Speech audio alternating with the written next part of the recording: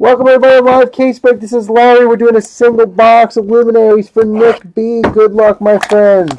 230, John. I'm marking them down. That's super cheap. 230. I got two boxes left. I'm just blowing them out.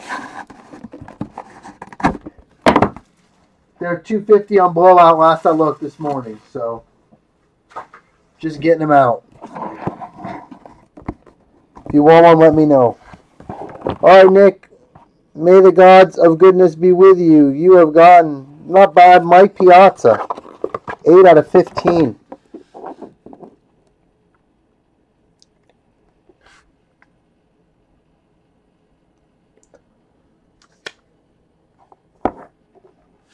Yeah, I'm, I'm cutting stuff down here.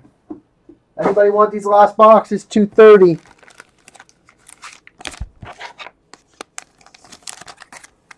No, I mean, it is a good auto. He charges a fortune to sign. Better than Omar Vizquel.